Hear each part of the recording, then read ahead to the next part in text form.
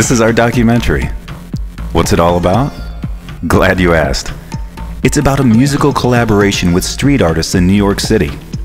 Scattered throughout the streets of this massive, bustling city are street artists who play and perform their music all across the numerous streets and subways of New York. Street artists who prefer street performance over stage performance come from a variety of backgrounds and play a diverse array of instruments. This is what sets each artist apart.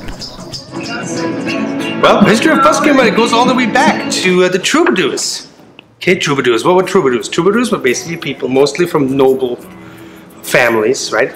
They would travel the, the, the lands in Europe, right, with news. They would sing Princess Hana married no prince. Exactly. Right? Yeah. Buskers always have been here since the beginning of the city. Uh. We've been, buskers have been playing, you know, on the streets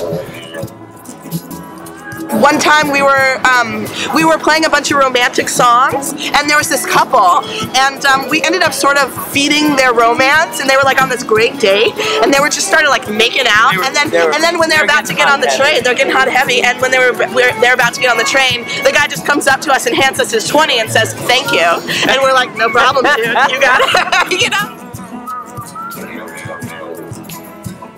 I was feeling? Uh, well, I knew that I was probably going to be arrested. That's probably what was going to happen. Um, but I wanted to, to go through the process and uh, in the most respectful way that I could, but also in a way that seemed uh, genuine in, in who I am and what I believe in.